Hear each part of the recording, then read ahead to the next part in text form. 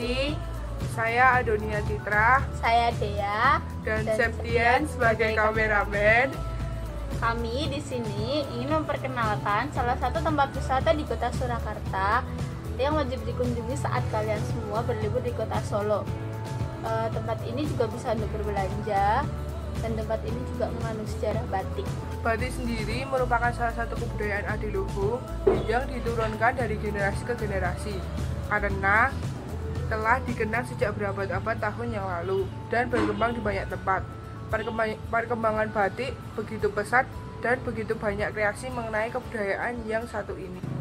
Dibutuhkan waktu yang panjang eh, untuk dapat menelusuri sejarah batik.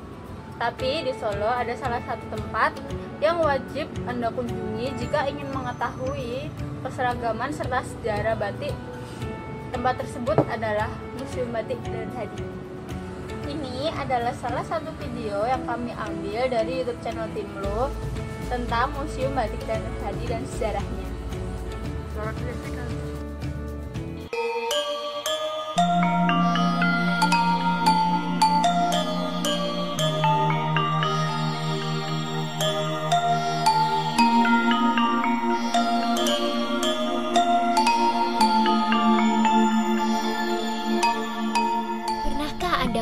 Cerita Snow White atau Hansel and Gretel?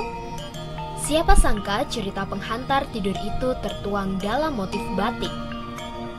Berkisar tahun 1840 sampai 1910, orang-orang pribumi membuat batik cerita tersebut. Pada masa itu, Belanda masih menguasai Nusantara.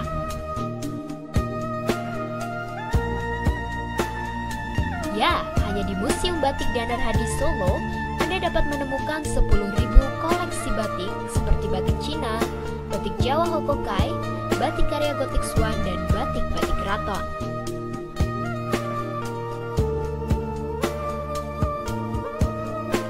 Jadi Museum Batik Danar Hadi ini kan museum batik pribadi kepunyaan Bapak Haji Santoso Dolan.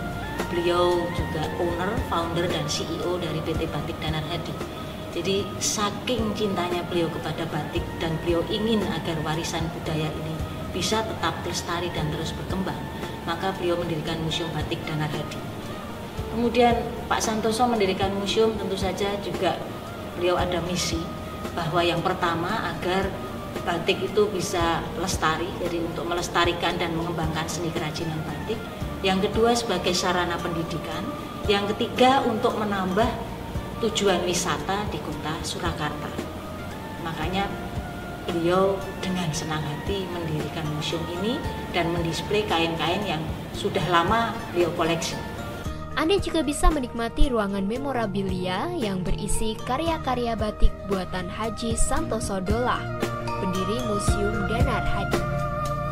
14 tahun berdiri, museum ini meraih berbagai penghargaan, di antaranya Excellent Award dari TripAdvisor, institusi di Amerika yang menilai standar berdasarkan review pengunjung. Dalam sebulan, diperkirakan 1.500 turis mengunjungi museum ini, baik yang berasal dari Indonesia maupun mancanegara. Mereka tertarik untuk mempelajari batik lebih dalam. Jika Anda berencana mengunjungi kota Solo, jangan lupa masukkan Museum Batik Danar Hadi dalam agenda kunjungan dan nikmatilah informasi lengkap terkait batik. Dengan berkunjung ke Museum Batik Danar Hadi, tak butuh waktu lama bagi Anda untuk memperoleh pengetahuan tentang sejarah, filosofi, bahkan proses pembuatan dan bahan-bahan batik.